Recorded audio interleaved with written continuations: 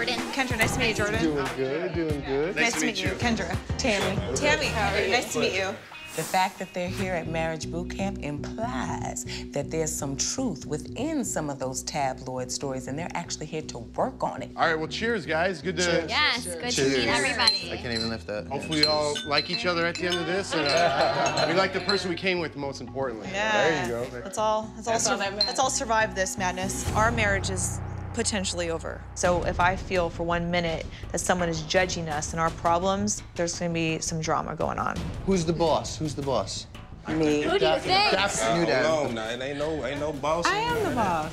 Come on now. I am the boss. I need to know, Hank, is the transsexual story real? You just knows it. I am.